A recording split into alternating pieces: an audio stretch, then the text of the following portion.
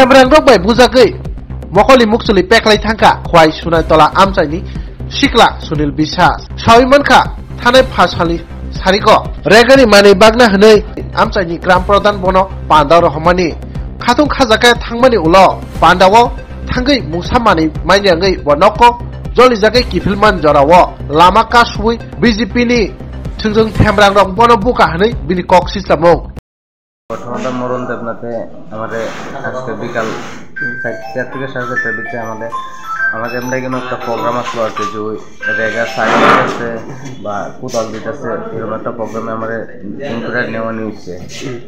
আমার প্রধানে ফোন করছে, প্রধানের নাম হচ্ছে যে সেটা পানির দেব রায় ওই কোনো আসলো আমরা গেছি আমাদের কোনো জিনিস দেয় না।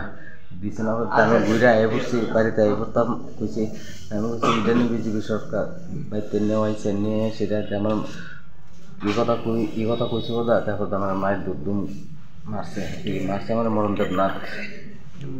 বাড়ির পাশে দুপারি আমাদের বাবার মায়ের দুধ করছে তোমার নাম কি?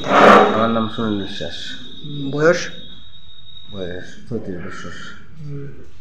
কোন জায়গাতে হয়েছে ঘটনাটা? ঘটনাটা আমরা তাকে সীমাতলা ওষুধ বন ধরে ওষুধ বন এখানে একটা টিলার একটা বাজার ধরে এটা সমনি বাজার করে আর কি সমনি বাজারটা করতে ঠিক আছে। আর অনুষ্ঠান রয়েছে সুমনি বাজারের রংমহল।